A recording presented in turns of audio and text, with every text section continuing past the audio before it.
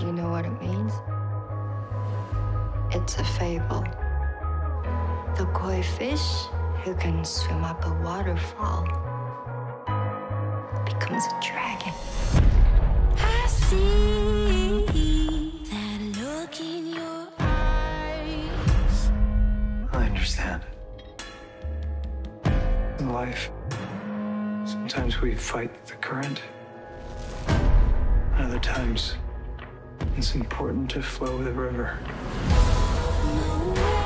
To run from all of this happening. To become a Yakuza is a choice.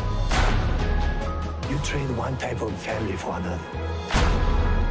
You can never go back.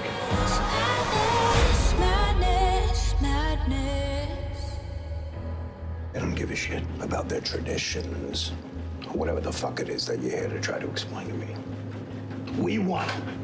That's the way it is. That's the way it is. And now you can get the fuck out of my office.